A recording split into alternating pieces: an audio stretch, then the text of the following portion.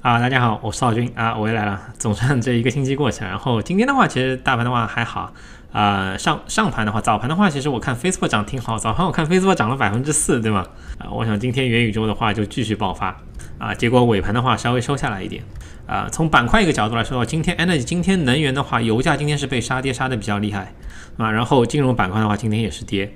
啊。油价其实我说实话，油价我不想聊太多，因为我记得我前段时间我一直聊或者我聊我对它的一个判断。那么包括我我说过为什么沙特不增产，然后啊，从消息面的一个角度的话，美国政府的话可能要动用他们的一个 reserve 啊，包括他们一个战略储备。然后最近消最近的话，从消息面角度来说的话，应该是中国和美国的话非常有可能一起动用他们石油的一个战略储备，对吗？主要一个原因是什么？主要一个原因还是中美关系的话，短时间之内的话是得到缓解了，好吧？这里边其实有很多很多信号，我在很多个视频里面我也和大家分享过，这边的话就不展开了。然后说一下。啊，其实啊，这一段时间啊，就很多小伙伴，比如说会担担心 Square 啊。我说从我个人角度来说，我一直说，我说我其实不是非常担心。为主要一点还是因为我我关注这家公司的一个基本面，我关注公司的，我关注管理层他们的一个执行力。包括今天的话，啊，Square 他们还发还发布发布了一个白皮书。Square 的话，Square 下面一家公司啊，应该是算他们下面的一个 team 吧。啊，他们要做一个去中心化的一个交易所。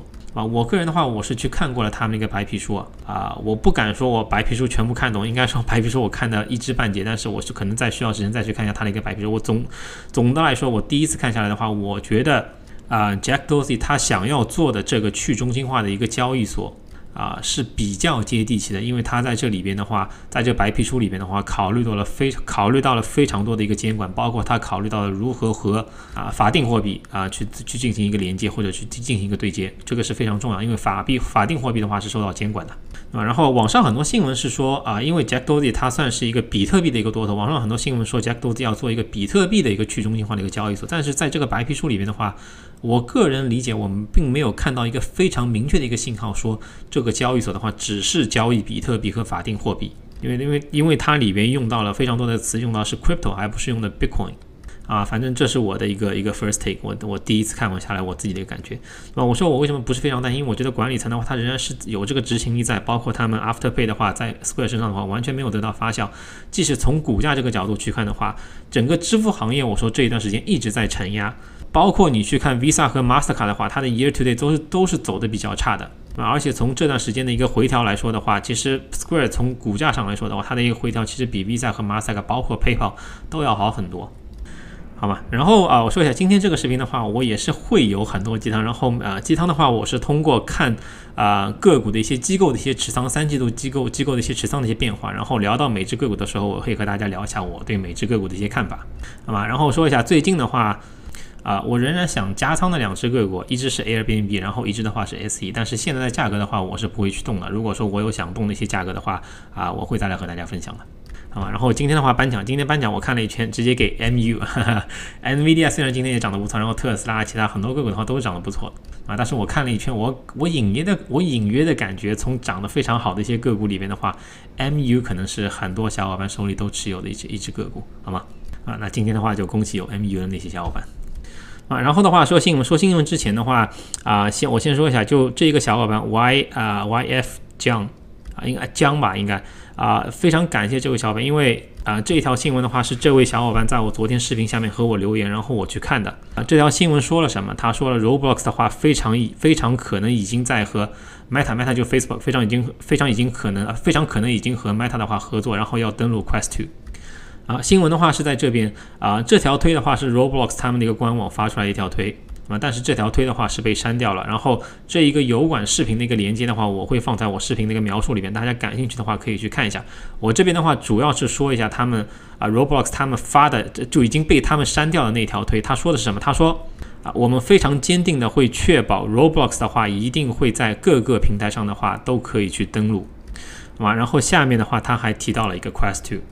啊，就从这一句话，就就就从这一句被删掉的一个推来说的话，啊，对我来说的话，这算是一个基本面上的一个改变啊，因为我觉得这对于 Roblox 来说的话，是一个非常好的一个利好，那么，而且对于 对于 Quest Two 或者对于 Meta 这家公司，对于 Facebook 这家公司来说的话，我觉得也是非常多的一个利好。那么感觉啊，我持有的这两家公司要进行一个联动了啊。如果一定要我说对哪家公司利好更多的话，我反而觉得对于 Facebook 或者对于 Meta 他们的一个利好的话更大。为什么啊？因为我们仔细去想一下，Quest Two 它现在需要的是什么？其实 Quest Two 的一个价格的话已经降得非常低了，二九九美金。我相信以后它这个价格的话还会往下降，因为扎克伯格在上一次他们的一个啊讲元宇宙的电话会议，它里边已经说了，即使连即使平价卖出去，成本价卖出去的话，他们也要把这个价格给降下来，就 Quest 的这个价格要也要降下来。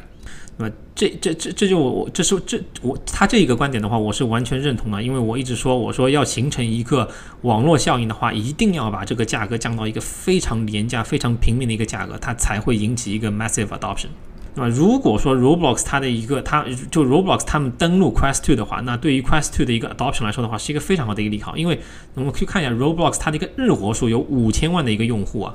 啊，我们即使假设有百分之十到百分之二十的一个用户，就呃一个一个 Roblox 一个日日活的一个玩家的话，去去买入 Quest Two 的话，那我们也要看到起码有五百到一千万的一个啊硬件的一个需求在那边了。这对于 Quest Two，包括对于整个啊 Meta 他们想做的一个元宇宙的一个概念的话，是一个非常非常大的一个利好，好吗？但是短时间之内的话，我觉得可能 Roblox 一个加仓点位的话，可能会比较难了。然后最后的话，我真的想再次感谢一下那一位小伙伴，因为啊，其实我做这一个频道的一个初衷啊，其实就是为了，其实就是一个分享，没有其他更多的一些东西了。然后啊，欢迎大家以后其他小伙伴，如果以后有一些我漏掉的一些新闻，大啊大家觉得啊这条新闻可以啊让更多的人受益到的话，希望大家和我分享，不管是下面留言也好，或者给我写邮件，邮件我可能回复的比较慢一点啊，我我看到有价值的话，我一定会拿到视频里边再来和大家分享的，好吗？那，然后的话来聊一下加密货币，先来看一下比特币啊，这边这张图的话是比特币挖矿啊挖矿的一个分布，然后你可以看到，基本上在今年七月以后的话，整个挖矿的一个分布的话，现在最大的最大头在哪儿，或者占最大比例在哪儿，在美国啊，这一条土黄色的话就是代表美国的一个占比，然后啊，基本上很多中国的一些挖矿的一些算力的话，现在全部集中在美国和加拿大这两个这两个国家的话是最受益的。好吧，所以现在基本上从 mining 这一个角度去说的话，啊，一个地域的一个政治风险的话，基本上就没有了，好吗？啊，然后来看一条新闻，这条新闻的话，其实啊，并不是一条，并不是一条直接是有利于加密货币之或者直接有利于比特币的一条新闻啊，但是啊，就我们好的也要看，然后不好的也要看，啊，不不能一直只给大家洗脑说，哎，比特币就是好，或者加密货币就是好。好吧，看一下这条新闻，啊，呃，澳大利亚的一个退休基金的话，他们啊现在觉得数字资产的话是比较难吸引到他们，主要一个原因的话还是一个波动率和一个治理风险。这边的一个治理风险的话，它其实说的一个 custody risk，对吧？什么意思？就是你买完比特币之后的话，谁去帮你保管？或者你买完其他加密货币的话，谁去帮你保管？啊，但是我觉得这个风险的话，基本上现在的话是已经可以得到处理的。主要的话是一个波动率，就是一个 volatility，就比特币一个波动率的话是非常大的。对吧？所以这一个人 Barry 就是他是管理在啊，他他是一个呃首席首席投资官，然后以前的话是管理二百七十亿澳元，然后他就说他说他认为现在的话，比特币或者其他加密货币的话是不适用于养老基金，因为它的一个波动率的话太大。但是我其实说啊，从机构角度去看的话啊，很多时候不会单单只看一个波动率，你还得看一个 sharp ratio 或者应该是一个夏普比例吧，那么，就是它的一个回报去除以它的一个波动率。我相信如果你去看回报除以一个波动率的话，比特币是。基本上会秒杀很多其他资产的。啊，然后的话就是波动率，这张图白色的话是比特币的一个波动率，然后蓝色的话是 MSCI All Country World 啊，你可以看到这一个波动率的话差的还是挺多的，那么不过这条新闻的话，其实它的一个重点是就刚才的一个首席执行官啊，首首席投资官，他他是说他说作为一个养老作为管老管理养老基金的啊一个投资者的一个角度去看的话，他们是不会忽略加密货币，或者是不应该去忽略数字货币的。啊，因为其实越来越多的机构的话，现在已经开始接受加密货币了，所以我就我我个人是一直觉得这是一个趋势啊。而且 Fidelity 的话，他们其实做过一个研究，现在其实有越来越多的机构的话，其实是对加密货币的话是感兴趣的，特别在澳大利亚啊，也是一样的一个情况。但是现在主要是碍于投资的一个标的的话，并不是非常多啊，所以其实从我个人的一个角度去看的话，啊，我个人是觉得加密货币，不管是比特币也好，或者是以太坊也好，或者其他的一些币种也好。啊，这基本上是唯一一个可能散户可以走在机构之前的。即使在今天这个位置的话，我都觉得不晚，因为我一直说今年可能是机构开始持有比特币的一个元年，但是接下去的话还有很长很长一段路啊，一定会有更多的一个机构的话开始会选择或者开始接受数字货币或者加密货币。啊，然后的话就看一下个股的一些机构机构三季度这持仓的一些变化，啊，先是 Square，然后 Square 的话，啊，主要最大的一家减仓的一个机构的话就是 ARK 啊，ARK 的话，啊，其实这边的话我不想多做评价，因为首先哦，很多小伙伴会问我，就我手里的话我手里的话是没有 ARK 的。对吧？虽然呃，我我很多 ARK 的一些操作，我可能不是非常认同，包括他们投资一些标的的话，我也不是非常认同，啊。但是其实我很多时候我不是非常理解 Twitter 上很多一些，特别是一些外国的一些博，就 Twitter 上外国的一些博主对于啊 ARK 他们操作的一些攻击哈，其实很多时候我真的不是非常理解。包括，但你仔细想一下，很多时候这些人他们盯着什么？他们盯着的都是一些 ARK 的一些操作的一些失误，或者说从啊回测的一个角度的话，都是操作的一些失误。但是你仔细再去想一下，当初的时候，ARK 他们一直在抄底 Unity 和当初他们一直在抄底 Coin 的时候，ARK 受到了多大的一个质疑？但是现在那群人还会回来吗？或者现在那群人的话还会去还会去向 AI 还会去向 ARK 他们道歉吗？不会的，对吧？一只基金里面有几十只个股，在每一个阶段的话，你都可以会找到一只他们可能操作并不是非常成功的一个个股，但是可能你很多时候你时间放长的话。那么，你会发觉很多时候现在做的事情根本就没有任何的一个意义，而且我觉得根本就没有必要去活在别人的世界里。你一直去盯着，有就很我看到很多博主都，包括现在是一直一直在质疑他们啊，比如说加仓 Robinhood，然后加仓啊啊 Skills。虽然 Robinhood Skills 是这两家公司我都不是非常喜欢，对吗？但是谁能说 ARK 它一定就是错的呢？好吗？啊，所以对于 ARK 减仓啊 Square 这家公司来说的话，我个人是完全啊没有任何的一个感觉，反而。讽比较讽刺的来说的话，可能 ARK 减仓减仓减掉一点 Square 的话，可能对于 Square 的股价来说的话，并不是一件坏事，因为 ARK 被整个市场做空比较多或者盯得比较紧啊，特别是他们一些持仓的一些个股的话，比较被容比较容易被针对，好吧？然后加仓的一些加仓的一些公司的话，Janison，然后 Janison Associate，然后 Sense Capital，我还是挺希我看到 Sense Capital 他们加仓的话，我还挺我感到还挺欣慰的，因为这家公司其实在啊很多成长股的一些基金公司里面的话，我还是比较喜欢的，好吗？啊，然后是 Neo 啊，Neo 的话啊，我这边先和要先要和大家道个歉，因为 Neo 确实很长时间没有和大家去做更新了啊，我自己的话确实有很多课要去补啊，包括他们那个财报会议啊，然后这一次财报的话，主要我也是看到他他们财报之后的话，财报财报之后那一天的话，股价是涨了，所以我觉得可能大家并没有并不会非常非常大非常非常大的一个担心。今天的话，主要看一下他们那个机构的一个持仓啊，其实我记得我记得应该是在视不是在视频里面，或者就是在聊天里边的话。在视频下面聊天里面，我和大家分享，我觉得 Neo 啊，Bailey Gifford 在三季度的话是一定会减仓 Neo 的。为什么？就是因为啊，在七月，应该是在七月，我没记错，应该是在七月初那一波中概股的一波风险，或者中概中概教育股的那一波风险。那对于很多机构投资，即使我这 EV 没有受到影响，但是对于很多机构投资者，从机构投资者角度去看的话，他们是一定会去降低这一个风险。怎么去降低这一个风险？就是进行减仓。好吗？所以啊，你可以看到啊，Bailey Gifford 是减仓了一千七百万股，但是我并不觉得他们对于 Neo 的一个 conviction 的话下降了。我觉得更多的这是出于一个风险控制的一个角度去进行的一个减仓，因为投资他们的一个投资者其实会给他们压力的啊，所以我觉得他们我所以我觉得他们做出这一个决定的话，其实我个人觉得是非常非常 make sense，也是在情理之中，其实也是在我原来预期之中的，好吗？因为他们原来本身那个仓位的话，在 Neo 上面的仓位的话，其实是非常非常大的。啊，然后啊，比较有意思的是新开仓的一家公司，就新开仓 Neo 的一家公司 Sense Capital，然后他们的话是在三季度的时候开仓了 Neo，啊，然后是 OpenDoor，正好在做 OpenDoor 之前的话，我想说一下，因为 昨天我看到有个小伙伴担心今年我自己的一个账户的一个表现，就我想说，小小伙伴啊，不用担心，我今年的话其实过得还是 OK 的，好吧？然后啊，正好我想说呀，其实我我一直说我我之前说过，我做这个频道，其实我希望大家把我当做一个工具人，我这个工具人的用途是什么？啊，我的我的用途的话，就是能够帮助大家啊，不说更好吧，起码从啊我的分享中能够更全面的去了解这一个市场，比如说去拆解一些市场的一些消息啊，去摘取一些宏观的一些消息，对吗？啊，这是第一点。然后第二点的话，也是最重要的一点，就是我的作用就是能够帮助大家去更加全面的去了解一些公司，了解每个公司，了解每个公司的一个基本面。啊，不管不管是好还是坏，这才是我最想做的一件事情，或者这才这才是我这个频道最想带给大家东西。啊，我不能帮到大家什么，我不能帮到大家是我我不能每天搀着大家的手告诉大家啊，今天这只个股要止损，今天那往你这个股的话要止盈，啊，这是我做不到的，这也是我觉得不是我所擅长的，好吧，就仅此而已，我就只是一个工具人啊。然后我想说一下，因为。啊，因为通过上一次就前段时间 Opendoor 的一波下跌下跌下来的话，我吸取了一个教训，什么教训？就是我觉得很多个股我不想说太多，因为我觉得基本面我们能够全部聊完整，就我觉得就可以了。包括通就最主要是通过一些数据去啊帮助我们更全面的去了解这一家公司，对吧？但是我我觉得我可能有时候说了太多之后，我感觉自己都变成了一个股票的一个 sales。对吧？我我并不是今天大家去多买一股 o p e n d o o 去多买一股 Airbnb，我就有一个提升，我是没有任何的一个提升，和我是没有任何的一个关系的，对吧？所以我觉得很多时候，特别在个股下跌的时候，我觉得我说的越多，很多时候可能其实很多时候会产生一个反效果，因为我说越多，一直这个股它的一个股价跌的越多，对吧？很多小伙伴其实会有一个逆反的一个心理，包括很多小伙伴会觉得，哎，你就 你你给我们煲的鸡汤都是一些毒鸡汤。好吗？但是拿 Opendoor 这个例子去看的话，其实他们二季度的三季度的一个财报的话都是非常不错的，而且从即使去比上华尔街他们的一个预期的话，都是高了比较多的。那么，那从我的角度来说的话，只要他们财报 OK，然后管理层的话继续有继续有一个非常高的一个执行力的话，我就不会非常非常担心它的一个股价，好吧？然后来看一下他们这一个这一个季度他们一个机构持仓的一个变化。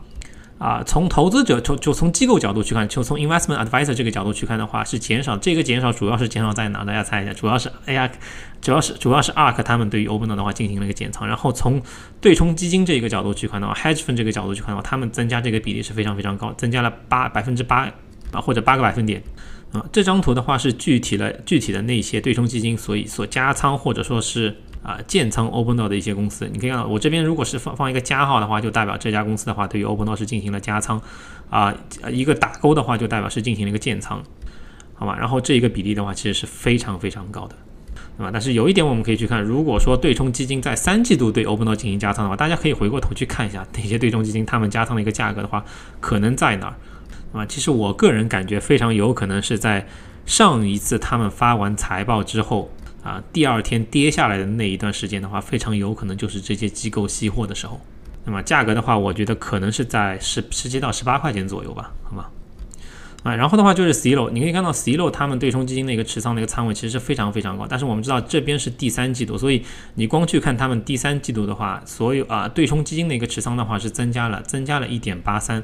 啊，但是啊，Zero 他们退出 iBuying 这个市场的一个消息的话，是在第三季度之后的嘛，是在十月份啊，所以我个人的一个推测的话，等到第四季度机构的一个持仓的一个仓位出来之后的话，Zero 在对冲基金这一块的一个比占比的话，我觉得可能是要下降的，那么而这一部分下降的一个比例的话，非常有可能会去到 Opendoor 里边。